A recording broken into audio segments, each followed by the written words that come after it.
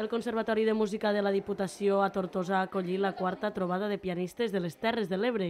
La jornada, que ha tingut per objectiu el retrobament d'alumnes i professorat, ha ajudat a crear sinergies entre les diferents escoles de música del territori. Així, una vuitantena d'alumnes de fins a 11 escoles de música de les Terres de l'Ebre s'han desplaçat fins al Conservatori de Tortosa per a gaudir d'un matí ple de música. Al llarg del matí, els alumnes, acompanyats per professors i familiars, han dut a terme diferents activitats, com un monogràfic sobre el compositor Felip Pedrell en commemoració del centenari de la seva mort o tallers d'improvisació. A més, també s'han dut a terme tres audicions obertes al públic.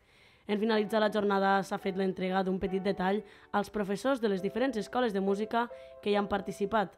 Des del Conservatori han volgut agrair el suport institucional de la Diputació, que els permet tenir els recursos i les eines necessàries per a poder realitzar aquestes activitats.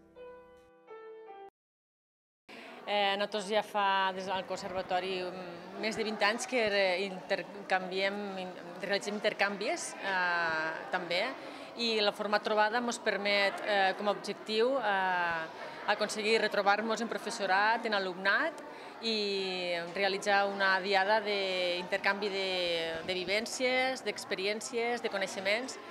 No, que aprofitem aquesta trobada de piano, ja que és l'any 2022, per fer, donar a conèixer la figura de Felip Pedrell, ja que celebrem el seu centenari de la mort. Llavors, este taller, un dels tallers que han fet, està dedicat exclusivament a la figura de Felip Pedrell. M'he encarregat de fer tallers d'improvisació amb la idea d'estimular la creativitat i, i veure des d'un àmbit, des d'un punt més lúdic, eh, la música.